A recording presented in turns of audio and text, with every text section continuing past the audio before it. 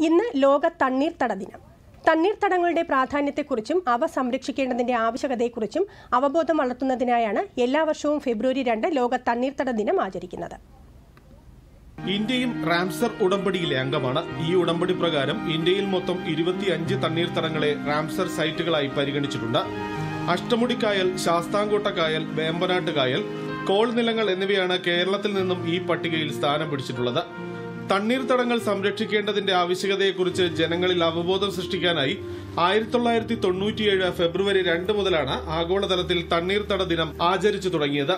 വർഷത്തിൽ ആറ് മാസമെങ്കിലും ജലത്താൽ ആവൃതമോ ജലനിർഭരമോ ജലനിമഗ്നമോ ആയിട്ടുള്ള തനതായ പരിസ്ഥിതി സവിശേഷതകൾ ഉള്ളതുമായ പ്രദേശമാണ് തണ്ണീർത്തടം.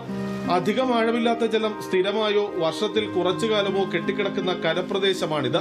ചെറുതും വലുതുമായ തടാകങ്ങൾ നദികൾ അരുവികൾ അഴിമുഖങ്ങൾ ഡെൽറ്റകൾ കണ്ടൽ പ്രദേശങ്ങൾ പവിഴപ്പുറ്റുകൾ നിറഞ്ഞ പ്രദേശങ്ങൾ ചതുപ്പ് പ്രദേശങ്ങൾ താഴ്ന്ന നിരപ്പിലുള്ള നെൽവയലുകൾ അണക്കെട്ടുകൾ ജലസംഭരണികൾ ഋതുഭേദങ്ങൾ മൂലം വെള്ളത്തിനടിയിലായ സമതല പ്രദേശങ്ങളും വനഭൂമികളും എന്നിവയെല്ലാം തണ്ണീർത്തടത്തിന്റെ നിർവചനത്തിൽ വരും. ജലശുചീകരണം വെള്ളപ്പൊക്ക നിയന്ത്രണം തീരസംരക്ഷണം എന്നിവ ഉൾപ്പെട്ട നിരവധി ധർമ്മങ്ങൾ തണ്ണീർത്തടങ്ങൾ നിർവഹിക്കുന്നുണ്ട്.